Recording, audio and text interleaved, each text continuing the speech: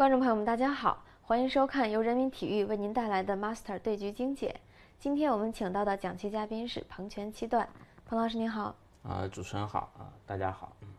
这盘棋呢，我们给您带来的是由世界冠军米玉婷她对阵 Master 的一盘棋。这盘棋是由米玉婷执黑，Master 执白。好，我们来看一下棋局。对，上来那个世界冠军米玉婷也是，呃，祭出了一个好像 Master 最喜欢的一个星大飞对嗯，小木大飞手脚，嗯，也是想看一看，呃，Master 怎么印啊，Master 还是普通的小飞手脚。然后这会儿米玉婷是学 Master 应该是吧？对对对，他使出了一个尖冲啊，嗯然后这时候我们就看到就不一样了啊，因为大部分的高手们都是贴嗯或者趴啊。嗯，但是 Master 呢，他选择了脱先，对，我觉得他最大的特点就是，呃，很喜欢脱先占据主动。嗯，对，因为我们看，其实说实话，这地方确实不走也没什么了不起了。哎呀，黑棋也暂时拿白了没有办法，所以说脱先也是没有问题的。嗯，然后大飞啊，我觉得有点那个呃异曲同工的意思。哎呀，嗯正常都是小飞的嘛，好像嗯，米玉婷走了好几个大飞，想看看 master 怎么应啊。他有点针锋相对的意味。对，然后我们看到这里的话，白棋走了一个简单的取控，嗯，然后爬，嗯，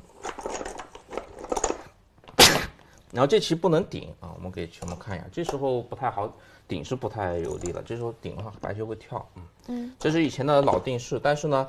呃，我觉得配置稍微弱一点，嗯，把这地方稍微摆一下，这样的话黑，呃，全部看到白棋拆边太舒服了，嗯，就是这个棋方向不好，不是说就是本身这步顶不好，请们要注意，因为现在的话，很明显黑棋的发展方向在右边，嗯，这边有个星嘛，围不了多少，所以说这时候他要全力的扩张右边，嗯，反正角都是没了嘛，然后顶一下以后啊，我觉得下一步棋非常的呃具有代表性，是这步棋吗？对，白就是棋搬起来很像是 master 的一种惯常的那个下法啊。因为秋木看他在吃你想干什么吗？他就是反吃一下啊。嗯，黑棋其实是没有办法了，他只能是提子。这时候呢啊，可能秋们在绞尽脑汁算这搬了打有什么意义呢？嗯，然后我们再看下一步棋，对，我。们看下一步棋啊。他随便走两下以后呢，他的人又没了。他去上面了。他捡对上面那几步棋其实也是损棋，我们看到，呃，把黑棋的这个大飞脚撞得非常的结实实啊。本身之前的话大飞脚还是有一些余味的，现在的话就变成铁控了。但是我们看到这两个呃残子啊、它本身看起来没什么意思，然后它简单的包扎了以后呢，最后拆了这以后呢，其实我们会看到呢，呃，反正莫名其妙的，是不是看到黑棋右边的这个模样就没了嘛？嗯，就总之你只要捉不住这个子啊，这三个它是可以给你吃的，这两个也可以给你吃的啊，你只能吃一边，反正你吃一边，另外一边就活了。只要它这三个或这四个一活呢，呃，其实我们看到呢，是不是这个这个后势暂时就没什么用了？所以说下到这里的话，我觉得还是蛮有特点的，就是右边的这个清消手法，嗯，非常的有特点，嗯，我觉得其实我们可以借鉴一下，借鉴一下啊，借鉴一下，这个是不是跟那个平常我特别喜欢的，呃，走这呃星无有角，然后白棋挂完之后在这儿碰，跟那个有点异曲同工。呃，有点那个意思啊，但是它这个我觉得更直观，因为我们看到它角已经在角已经变成白棋的情况下，啊嗯，它会最大限度的清分你的这个后壁。我们看，其实这这一团子现在越显尴尬啊，就是从子消上来说，嗯，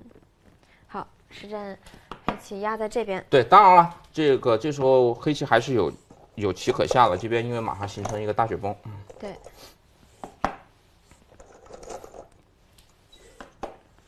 呃，这时候呢，白棋最终选择了跟黑棋搬起来，走雪崩啊。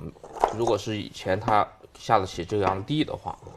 我们看到确实场合很重要。立完以后，全部看到这个地方不是很好解决。嗯，作为白棋来说，嗯，暂时加不好夹，你要管它就长，这还是很大。由于这边很薄，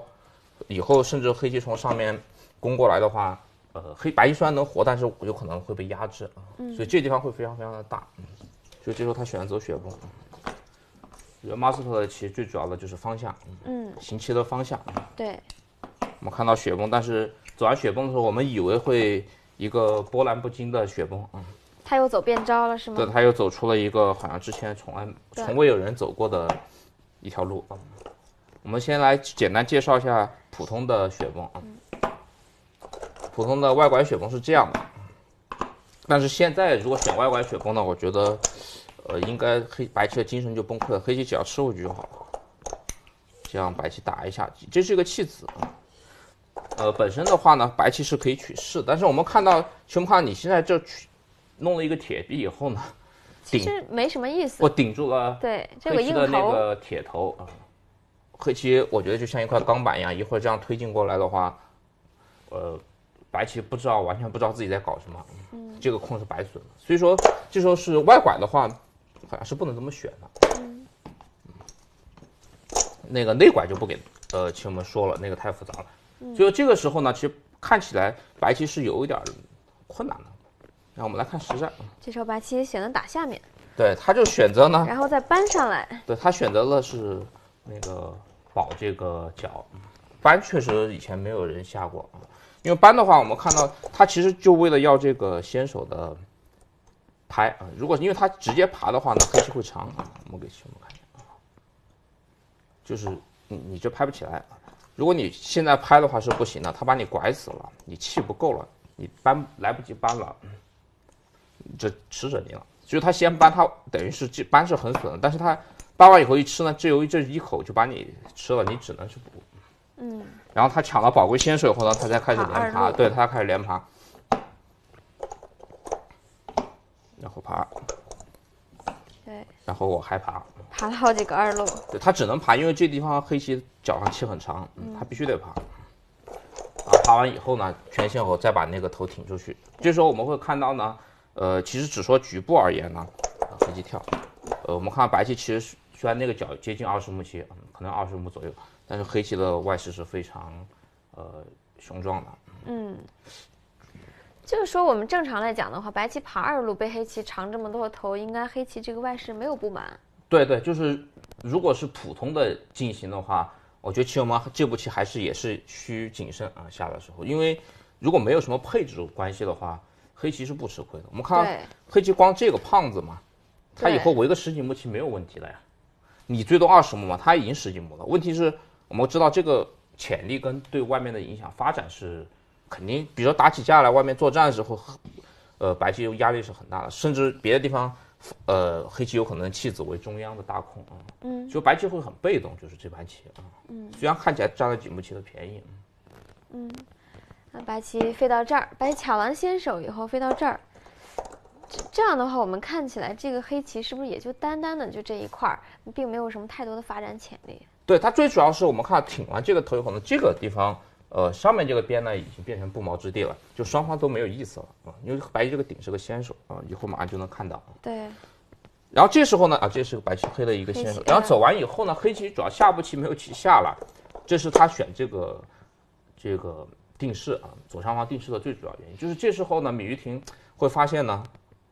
迷茫了，就是下步棋全部会看到没，因为他就把这个挂角给防了。好像这个地方也价值很小，这边价值也不大，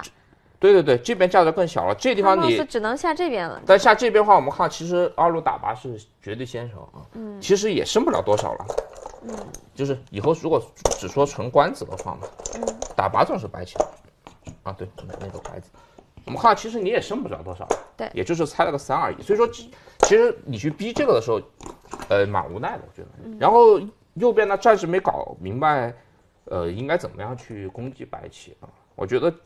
呃，这步逼还是有点缓的，说实话。是不是还是应该攻一下白棋这一块儿？对，怎么样也得想办法，呃，进攻一下右边的白棋，因为我们看这儿很厚，中间也很厚，但我不太确定，这不知道行不行，嗯，就总之应该是尝试一下，嗯，我们因为唯一的弱点就是白棋就是在右边了，嗯，可以尝试攻击完以后呢，呃，看看有没有什么机会，因为中间都是黑子，像这种整体攻可以吗？呃，这里主要是白棋会硬，白棋会硬，它主要迷茫在呢，它这个那我撑肚子能行吗？它这个肚子太大，对，然后黑白棋都硬上啊，比如说都虎上啊，他眼睛闭上，然后呢，你再往前的时候呢，嗯他这个空降兵就来了，但其实白棋这里我觉得他也围不了太多，因为不，这块他是围不了什么空，但是呢，问题是他空降兵打进来以后呢，你是吃它吗？还是攻它是吗？呃，看起来 好像呃，全部看，我觉得应该看起来不像是死棋。嗯，那你要是不吃它的话，不是就全毁了吗？很难围你这样怎么围嘛？对，这样没法围。呃可能还不如不走呢。嗯是，就是他很痛苦，就是不知道怎么样去处理这个棋。嗯，其实他也是选择了一个比较中庸的，抢了一步空。然后白棋这儿又爬了一手，你这个爬很大，因为被拐上以后，以后要收是。先手对吧？呃，拐是后手，但是以后会收气吃。哦，是这样。就他爬下来以后，他就全是空了。然后顶是个先手，呃，请我们注意，他只能虎，因为这不能长的，这一个挖，这一切断以后，请看这就被被吃了啊，你提这接不上了。所以说尖是个先手，他只能虎棋。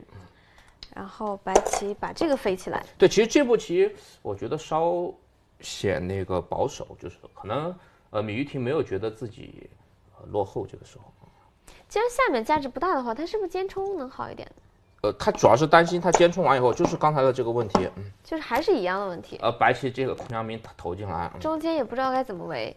对他怎么他是怎么攻还是怎么围嘛？就是他他他想抢个空，他抢个空呢，其实我们看到呢，他这出了一个头以后呢，其实中间黑棋就剩不了多少了。嗯但他的思路就是抢空啊。我们看到黑棋，他既然已经走这个了，他就是全力的，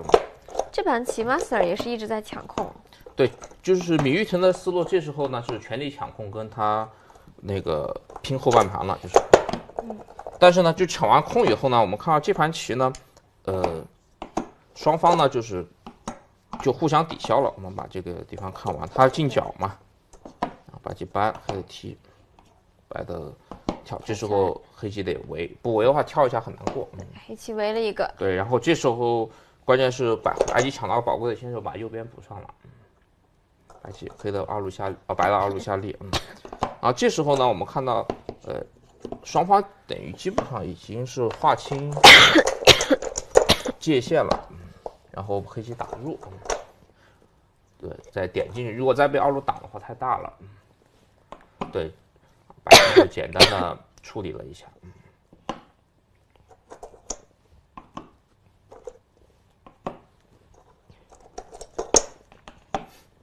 对，双方简单包扎以后呢，我可以给对下完这里可以给棋我们简单判断一下。对，打吃完黑白棋把断补上。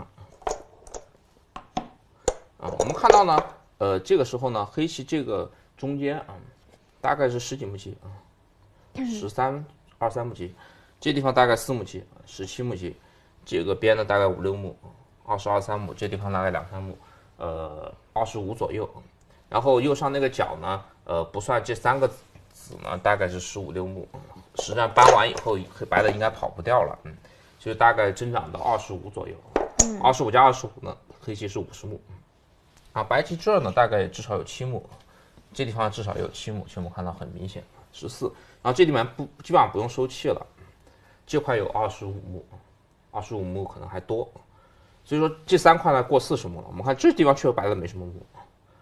白棋大概四十目出头，黑棋呢，呃，刚刚好过五十啊，嗯，五十左右，所以说是盘面十目可能弱一点，但该白棋下，嗯，嗯。而且这呢多多少少有一点目啊，我们不能一目不出这这块棋，嗯。只是不确定有多少，所以下到这里的话呢，其实形势非常非常的接近，呃，但是呢，黑棋看起来好像仔细看还是稍微可能落一点点下风，因为我们毕竟把算这三个已经死了的嘛，这三个还如果算死了，白棋还有借用，嗯，这地方还有点不，而且关键是还在白的下，嗯，先出手，这地方也不安定，嗯，所以下这里虽然很接近啊，但是好像似乎白棋已经越占上风了，嗯。嗯，所以这盘棋其实米玉婷发挥的也是很不错的。对对，总体我觉得，呃，master 这两个几个非常规下法，嗯，